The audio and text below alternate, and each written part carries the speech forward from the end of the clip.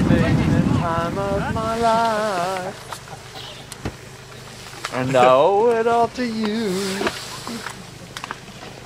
Just keep those two legs moving steady, keep them pedaling. Hmm. Well, the training today is really all about teamwork because this is like the fourth day of a pretty intense block of training. We've done power tests, VO2 max tests, time trial training, time trial positioning and aerodynamic testing.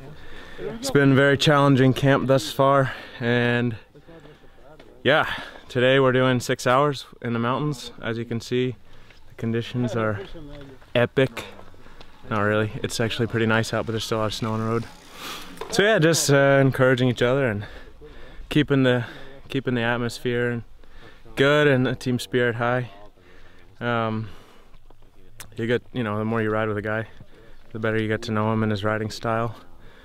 Um, you know what kind of things to expect from him in the races and just helps uh, create a more cohesive team in the race.